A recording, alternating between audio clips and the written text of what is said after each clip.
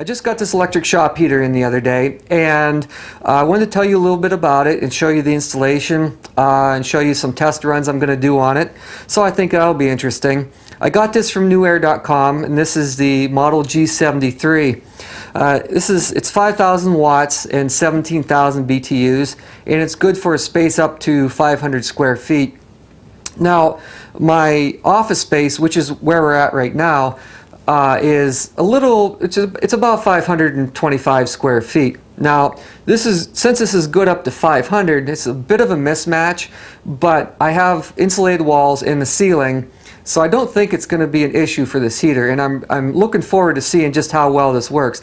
And I'm not going to make it easy on it either. I'm going to pick a really cold day. It's January here, by the way, in northern Pennsylvania, so I'm going to pick a really cold day to test this thing to see how well it does. Um, so that's something to look forward to a little bit later in the video.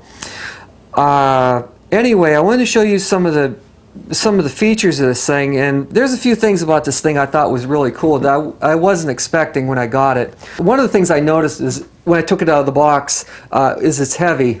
I mean, it's not overwhelmingly heavy where you can't easily mount it on the ceiling or wall or whatever, but it does seem heavy for its size.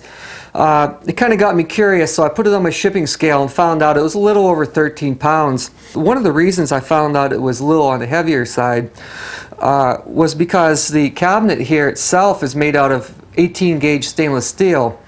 Now, as far as I'm concerned, that's a good thing with a heater because um, you know the heating elements will tend to radiate to the inner surfaces of a heater. And being that stainless steel is a poor conductor of heat, uh, it reduces the amount of heat that will make it to the outside of, the cabinet. So it'll reduce any kind of burn hazard or harm to the paint or anything like that. So I think that's a good thing.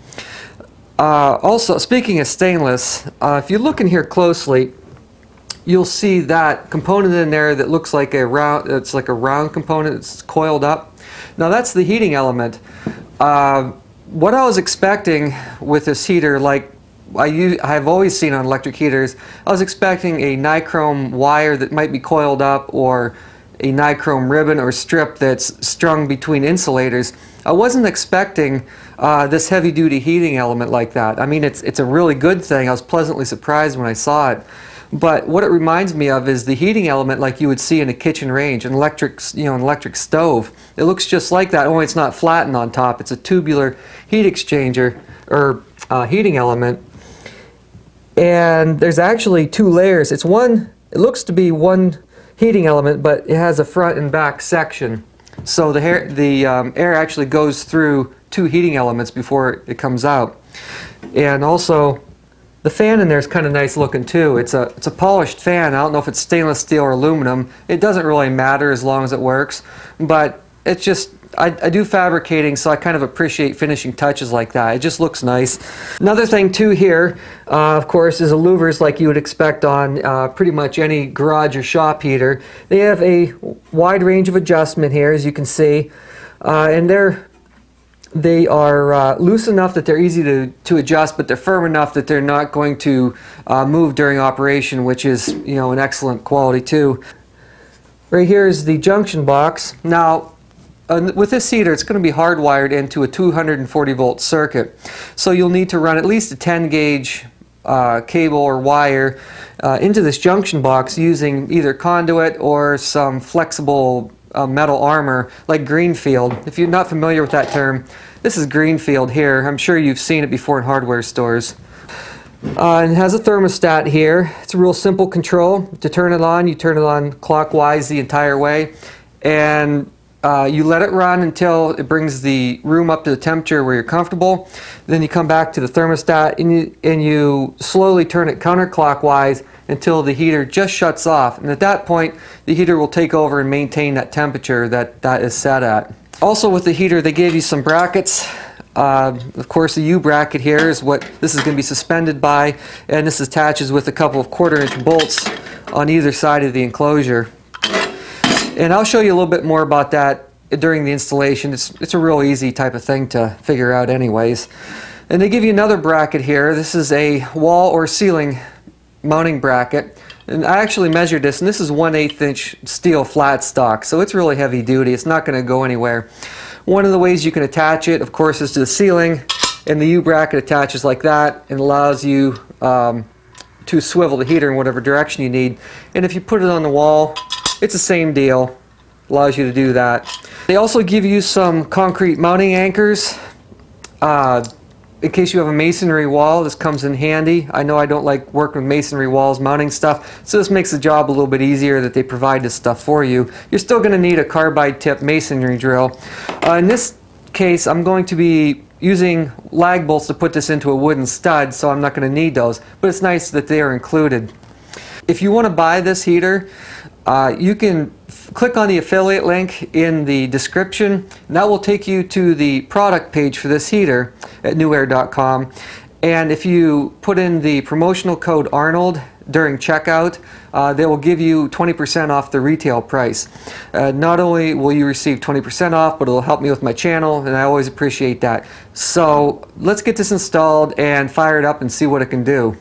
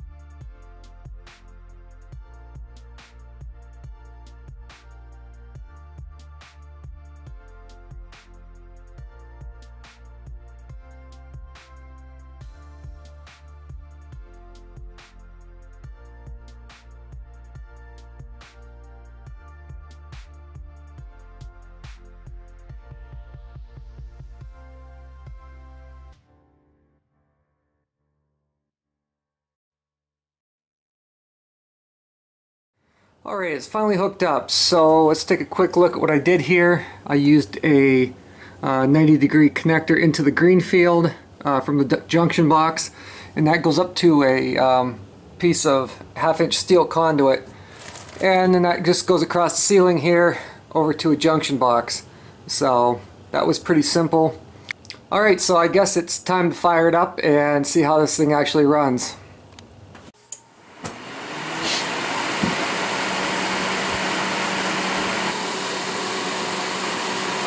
That thing puts out a lot more air than I thought it was going to, uh, which is good because it has to go clear across the 24 foot room.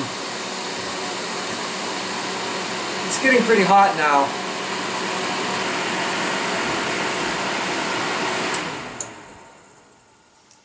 Okay, that's good. It works perfect. Uh, so the last thing to do now is to run some actual uh, test runs uh, on a cold morning, which uh, the timing is good for this because tomorrow morning is supposed to be super cold in the single digits. Uh, maybe it might be a high of 10 or 11 whenever I get here in the morning. We'll see. But um, I'm curious to see how fast this will heat 525 square feet of my office. Alright, it's the following day now, and it's just as cold outside as I said it was going to get. Uh, it's 15 degrees Fahrenheit right now, and it is it's showing 49 degrees in the shop. So it, I noticed it has a little bit of lag time for it to respond. So that's why I got this thermometer out too as a reference. And it's showing uh, about 46 degrees right now. So there's a little bit of a variation between the two uh, thermometers. What I'm going to do now is turn on the electric shop heater and see how quickly it heats up this room from from 49 degrees up to uh, I'll probably shut it off around 68 or 70 degrees room temperature in other words. I'm going to use a timer here, stopwatch. Okay, I'm going to turn on the heater now and then turn the stopwatch on.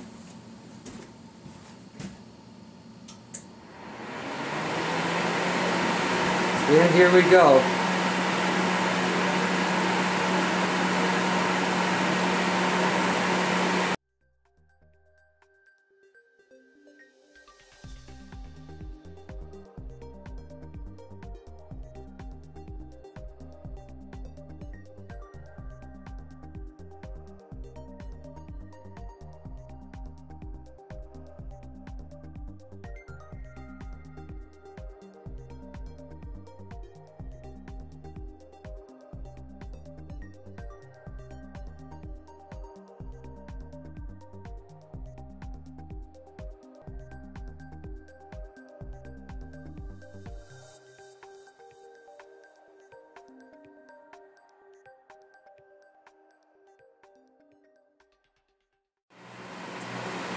Okay, so let's shut this down now.